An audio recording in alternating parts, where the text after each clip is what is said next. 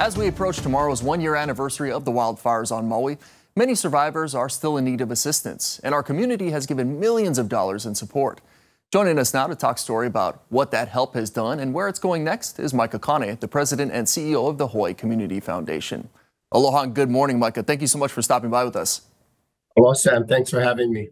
So you folks support the Maui Strong Fund, which is one of the most popular ways that folks can give back. How did this all start? You know, we got active with the uh, Strong Funds back in 2018, where all of these funds were established. Uh, we started with the Kauai floods, where Haena was cut off. That was when the first um, Kauai Strong Fund was activated. And then right after that, when Kilauea erupted and Puna was cut off, um, the Puna Strong Fund was activated. Each of those times, you know, we built some capacity, some understanding of the role we could play. And then when the COVID hit, Hawaii Resilience Fund was started, and just over $100 million came through that fund. And so when the Maui fires hit, um, you know, I think we had we had pretty good understanding of the role we could play, and I'm really proud of our team and and uh, what's been done so far. Well, it's, a, it's amazing to think about all the trials and tribulations that our state has gone through in the last decade. How much was raised, especially for the Maui Strong Fund, and, and where did donations come from? Well, to date, right now, just over $195 million was raised from over 240,000 individuals from over 75 countries. Actually, I think a total of 78 countries are represented. Every U.S. territory, every state within our country, over 5,000 corporate contributors. Uh, just an amazing uh, showing of aloha for the people in place of Maui. Uh, very grateful for all of that support. Wow, that is an astonishing number, especially the global support that, that this has gotten. Uh, how much has been dispersed so far, and what has this funding gone towards? Well, we've awarded um, over 244 uh, grants to 196 different organizations, majority of them based or operating on Maui, which was very important to us to invest in that capacity. Uh, upwards close to $110 million to date with still a lot of activity and a lot of grants still going out the door, you know, every week. I imagine disbursement is difficult because the end of this is TBD, right? There's no end date for when these uh, disaster victims will stop receiving funds. Uh, where does this go now? Well, fortunately, we've uh, been we've had good partners with both federal, state, and county governments.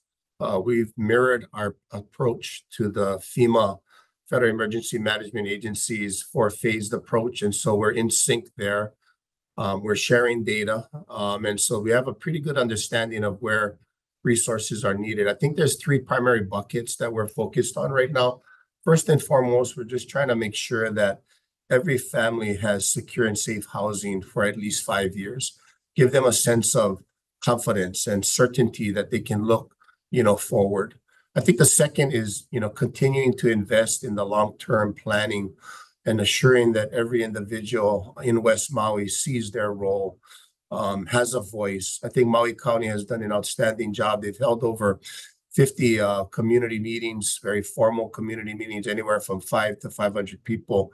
We're, we're resourcing those activities, and that's important. And then finally, you know, what where, where we're spending a lot of time is on a much more robust case management program where every individual um, whose unique circumstances can be can be supported. It's an extremely complex, um, broad, and deep disaster.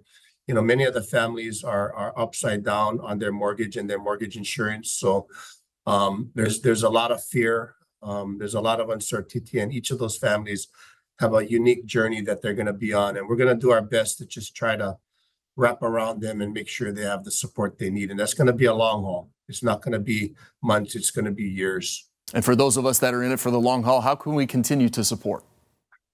Well, HCF will be there. Uh, we've been here for 100 years and we're going to be here for the next 100 years.